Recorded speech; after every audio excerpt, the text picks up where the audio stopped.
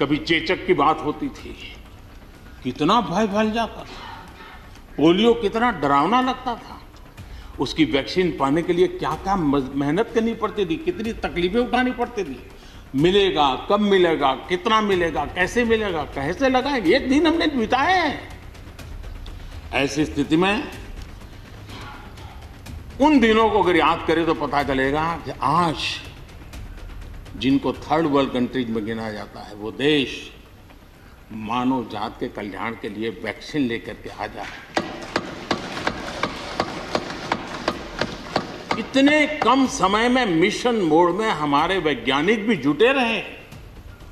ये मानव जात के इतिहास में भारत के योगदान एक गौरवपूर्ण गाथा है। इसका हम गौरव करें और उसी में से नए आत्मविश्वास की प्रेरणा भी जगती है। हमने उस नए आत्मविश्वास की प्रेरणा को जगाने के ऐसे प्रयासों को आज देश गर्व कर सकता है कि दुनिया का सबसे बड़ा टीकाकरण अभियान इसी मेरे देश में चल रहा है।